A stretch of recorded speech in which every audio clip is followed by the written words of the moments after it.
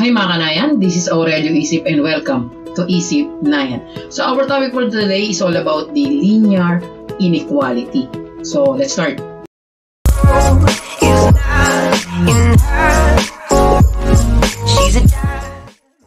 Linear inequality, ano ang pagkakaiba nito sa linear equation?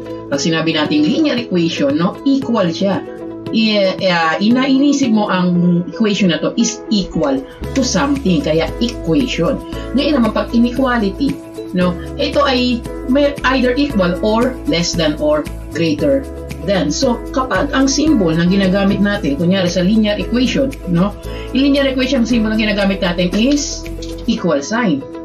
Diba? Ngayon, sa linear inequality, hindi lang equal sign ang ating gagamitin, no?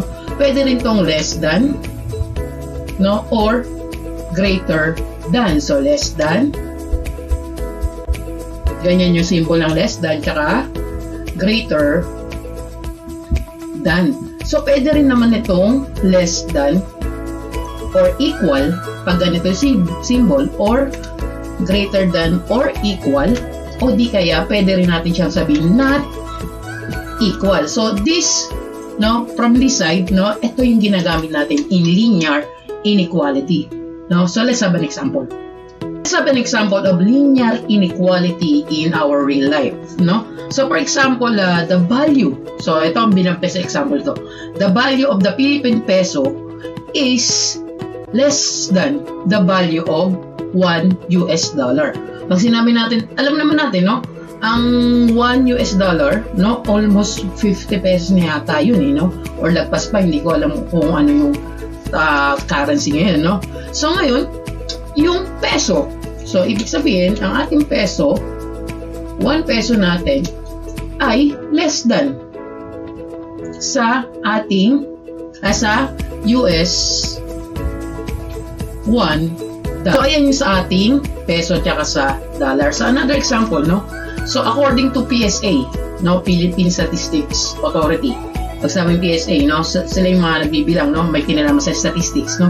Sabi dito, no, there are more Filipino female than Filipino male. So, mas marami daw ang mga babae na Pilipino, na Pinay, no? Kaya sa mga lalaki. So, ibig sabihin, no, if we represent ng ating female is F, so mas marami sa kanila is greater than. Pag sabi greater than, greater than na male na Filipinos. So, yun. So, another example, no? If we have the elevator, no, in the building, sabi dito, no, has a maximum capacity of 10 persons. So, ibig sabihin, ang elevator ay hindi, ano, hindi mag-ooperate. No? Hindi akin, hindi bababa. Kapag overloaded siya. Hindi pwedeng 11. No? Nakalagay kasi sa elevator, no? 10 lang. Maximum ang 10. So, ibig sabihin ng maximum 10, hindi siya pwedeng kung maging 11. Pero pwede siyang 10. Aandar siya sa 10. So, ibig sabihin, ang capacity, no, pag sinabi natin capacity, let's say capacity kailangan nito is less than, no? Less than 10 or equal. Pwedeng 10 or less than 10. 9, 8, 7, 6, 5, no? Pwede nga mag-isa ka lang, no? So, yun yung capacity. Yun yung linear inequality. So, another one, no? Meron dito na yung getting pass, no? Passing grade sa ating mga students, no? So, 75, sabi dito, to get passing marks in a school, a student must have a grade of at least 75. No? So, ibig sabihin, hindi na bababa sa 75. Hindi ka pwede maging 74, 73. Kailangan 75, pataas siya. So, paano natin ilalagay yun, no? So, at least 75, ibig sabihin, no? If we have a grade, bago-bago ang kulay, no? Kailangan, ang grade mo is greater than, no? 75 or equal. So, yan yung ating passing grade. So, yan yung ating uh, some practicals no, or the real life situation using the linear inequality.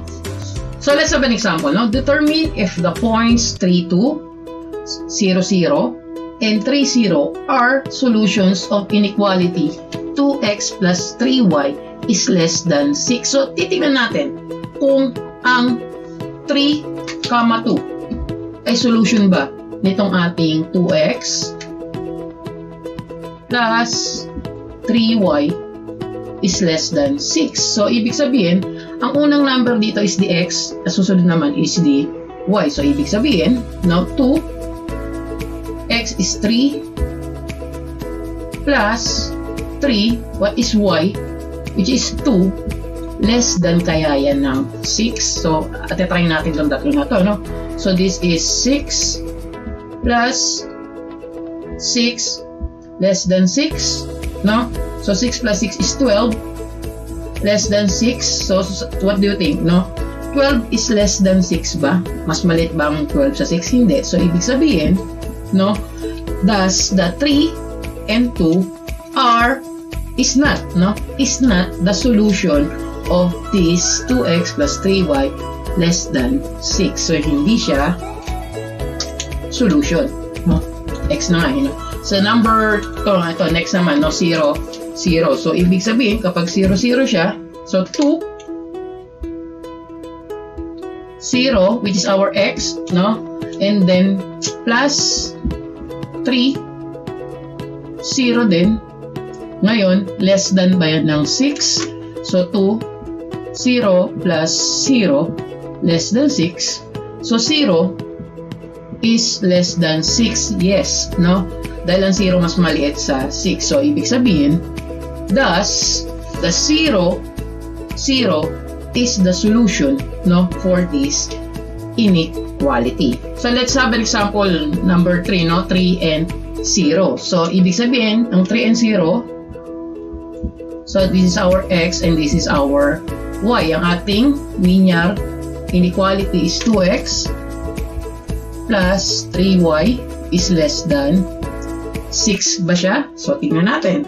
So, ang mangyayari dyan, so 2, ang x natin is 3, plus 3, ang y natin is 0, less than kaya siya ng 6. So, this is 6 plus 0 less than 6. So, 6 plus 0 is 6, less than 6.